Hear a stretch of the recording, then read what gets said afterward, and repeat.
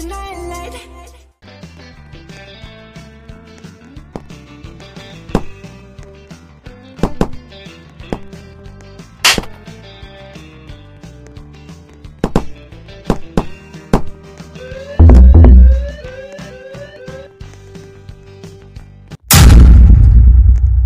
Attention shoppers, Walmart is now closed.